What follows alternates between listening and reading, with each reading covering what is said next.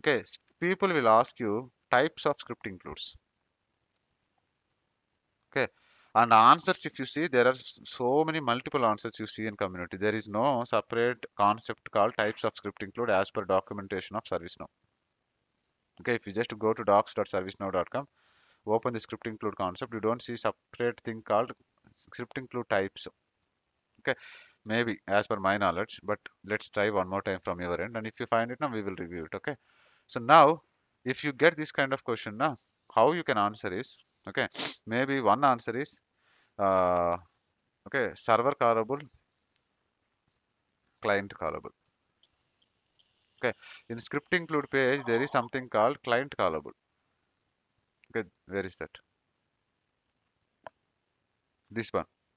Okay, if you check this one, it is client callable. If you don't check it, means server callable. Okay, so if it is client callable, then only it will support okay the Ajax call. If it is not checked, means it cannot be called from Ajax. Is that clear, ma? Yes. One Okay. more time, please. One more time, please. So, how you can call a script include from a client side using Ajax, right?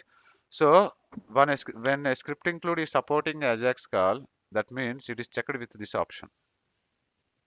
If it is unchecked, maybe it won't support the Ajax call, client callable. Thank you. Right? So this is one way of seeing the answer. This is true. But if I say that one, the mad guy interviewer will say, no, this is not the one. Maybe I want the other answer. Okay. The other way of seeing the same answer is, okay, script include with one function or multiple functions. Okay.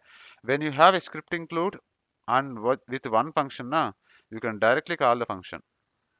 You no need to pass PA util. You can directly call the function. It will work. So that way, if you see one function, one script, include, that is one type. If one script include with multiple function, that is another type.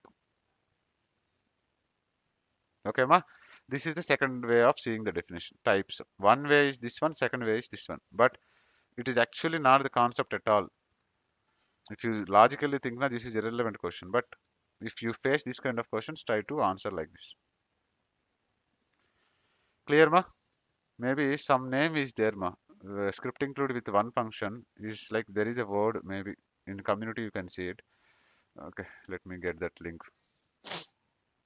so that it helps us.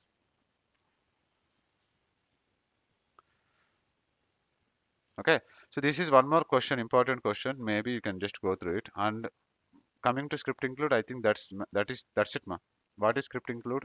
Okay, one small thing we will discuss that is very very important. Okay, that is also one more important. For okay, just give me one second. So see here, uh, on demand extend classes define a new class. So this is one way of. So on demand means script include with one. Okay, one function. Extend, I don't know what it is. So uh, class pattern. So everyone are defining their own own types. Ma. These are all types. I don't know what are them. Okay. So script include with one class. Okay, this is one way of seeing it. Client callable.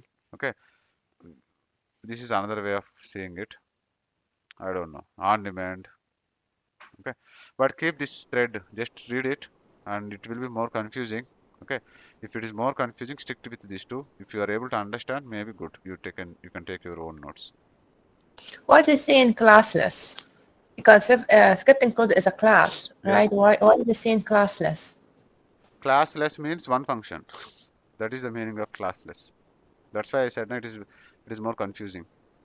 Okay, thanks. Yeah. So see, they are saying classless, right? But still, what is this? First line itself is a class, no? Script include itself is a class. How can they say classless? Right? Mm. So it is meaningless, ma. This this concept is meaningless, but still for interview purpose, I'm just covering it. I don't want to confuse you more, but yeah. Thank you. Thank you. right.